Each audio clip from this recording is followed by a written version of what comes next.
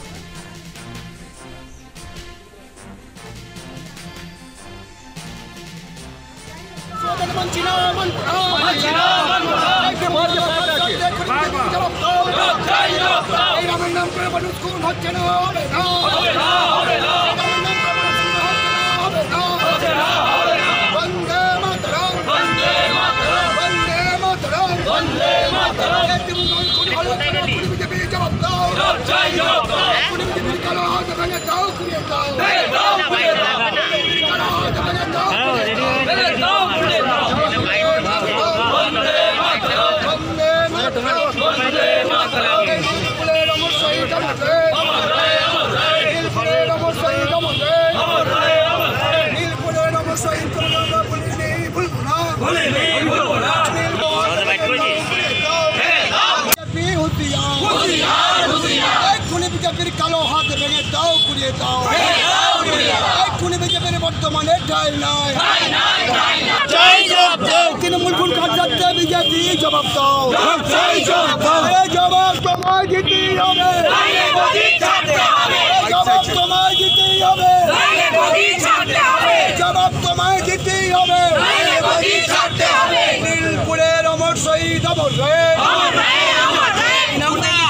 এই পুণ্যন্ত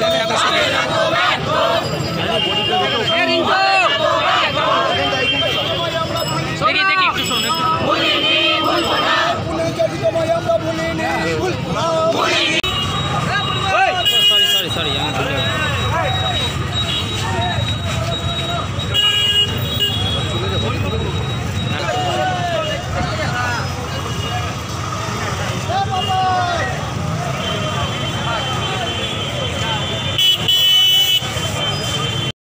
পুরো তেরো নম্বর ওয়ার্ডে, দুদিন আগে যেটা ঘটনা ঘটছিল বারো নম্বর ওয়ার্ডে, এবার তেরো নম্বর ওয়ার্ডে আমাদের একজন দলের কর্মী, তার বাড়িতে কালকে সারা দিন অত্যাচার করেছে বিজেপির কয়েকজন ছেলে, তারপরে অত্যাচার করে তাদের বাড়ি ঘরে তার বউ, ছেলেদের সব বার করে দিয়েছে, তালা মেরে দিয়ে সব ঘরে তারপরে তার স্বামী রাত্রিবেলায় বাইরে ছিল, রাত্রিবেলায় বাড়িতে আসছে, বাড়িতে এসে তার বউ এবং ছেলেরা তার নিজের বাপের বাড়িতে, পাশেই বাপের বাড়িতে ছিল, তারপর থেকে তার স্বামীকার পাওয়া যায় নাই এই সকালবেলায় পাওয়া গেছে উল্লাসের মোড়ে শ্রীরামপুরের ওখানে তার স্বামীর লাশ পড়ে আছে।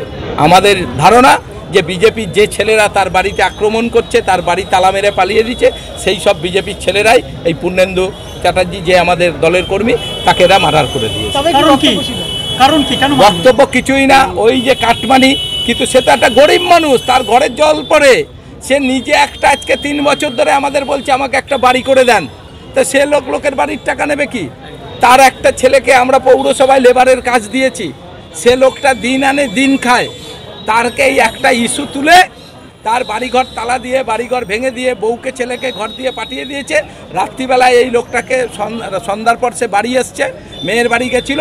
সন্ধ্যার পর বাড়ি আসার পর তাকে আর খুঁজে পাওয়া যায় নাই। সকালবেলায় তার লাশ শ্রীরামপুরের ওখানে ড্রেনের সামনে পড়ে আছে। ওর বাড়িতেও লেখা আছে কাটমানি হ্যাঁ কাটমানি।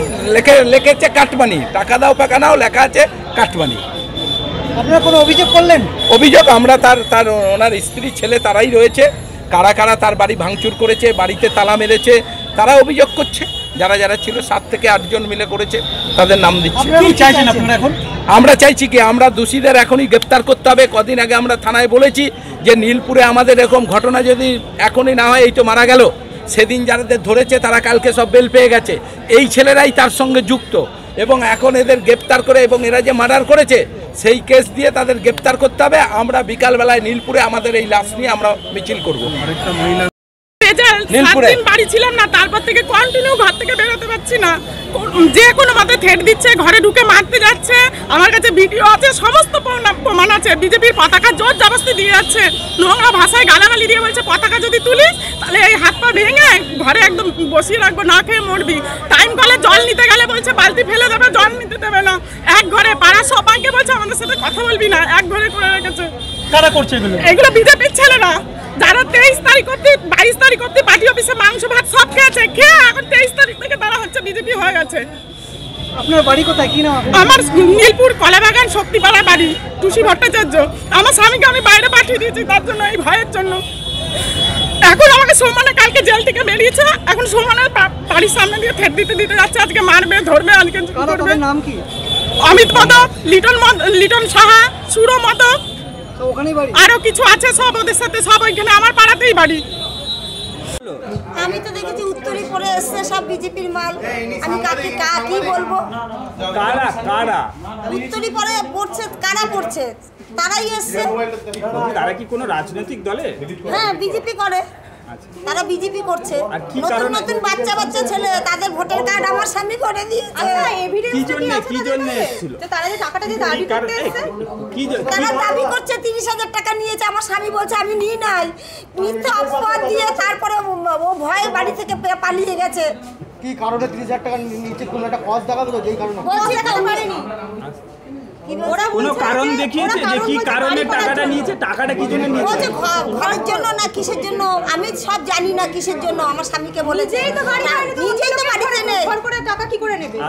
নিজেরই ঘর নেই নিজে ঘরে লোকের টাকা ঘর করা দিয়ে নেবে কি করে নেবে? নিজেরই তো বাড়ি নেই নিজেই তো টালির ঘরে থাকি। মানে আপনারা বলছেন কোনো রকমই টাকা কোনো রকম ভাবেই কি না আমরা টাকা পয়সা নিই নাই। সেই জন্যই তো রাগ। সেই জন্যই তো পরের দিন এসে বলছে দেওয়ালে কি কিছু- চুমকি লেগে রেখে গেছে। যে টাকা নাইনি পেস্টিজে লেগে গেছে তাদের। দেওয়ালে কি কিছু লিখে দিয়ে গেছে? কি জানি আমরা তো চলে এসেছি জানি না কিছু লিখে দিয়েছে কিনা। আচ্ছা। আর কি মনে হচ্ছে আপনার? আমার স্বামীকে খুন করাই হয়েছে। ও যদি আত্মহত্যা করতো তাহলে লিখে যেত। আরে খুন করেছে তো। খুন করেছে আমার স্বামীকে। কেন খুন করেছিল? কেন? কারণটা কি মনে হচ্ছে? কেন খুন করেছে? কি করে জানব? কিসের জন্য খুন করেছে? আর কারা করেছে? বিজেপির লোকেরাই করেছে আপনার স্বামী কি তৃণমূলে কোনো পদে ছিল? হ্যাঁ ছিল এজেন্ট ছিল। কালকে রাত্রে কি হয়েছিল? হ্যাঁ? কালকে রাত্রে কি আর কবে থেকে করে আপনার স্বামী? কবে থেকে তৃণমূল করবে? পরে বহু দিন থেকে। আপনার নাম কি? আমি আর পারছি না আপনার নাম আমি আর পারছি না বলতে। মানে ওরা ওখানে দেয়ালে লিখে দিয়েছিল কাট মানি বলে। দেয়ালে জানি না আমি কিচ্ছু জানি না আমাদের তো তাড়িয়ে দিয়েছে আমরা কি করে জানব? বাড়ি তো তালালের আগে বাড়িতে তো তালা দেওয়া। কাটমানি কাটমানি করে সারতে চাইছে না?